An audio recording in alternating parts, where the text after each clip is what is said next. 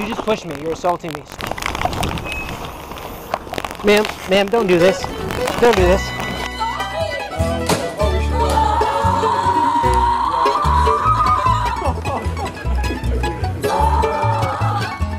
You're not entitled to this space. You're not entitled to just come spew hate, create violent rhetoric, and make it make the campus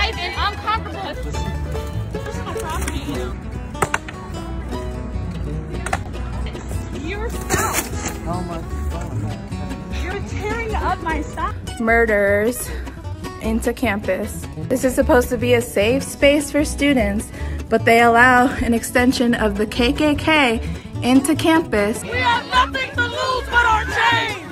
It is our duty to fight for freedom. It is our duty to fight. Why do you think it's okay to provide a space and a platform in your position to people that we have already expressed are here violently?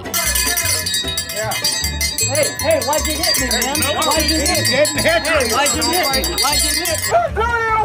It is our duty to win. We must love and support each other. We must love and support each other. We have nothing to lose but our chains. Ma'am, don't do that. Please. Please. fucking terrible person.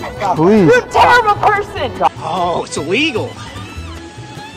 Right in it. Because I disagree with the message. Better to finally act out rather than to talk about something. Yeah, because pro-life arguments have about as much merit as like flat earth arguments. Who thinks systematic oppression It's systematic oppression is because you don't believe that you have the equal opportunity for success. You don't believe you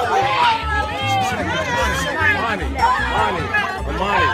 That. Did you? Did you just blame us for systematic? This No. is not okay. Shut the fuck up right Yeah. now. Hi, I'm at the pit. There's a woman that just punched my friend uh, four or five times.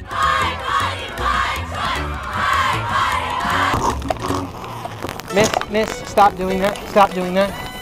Stop doing that. You should step down. If that is what you think about being a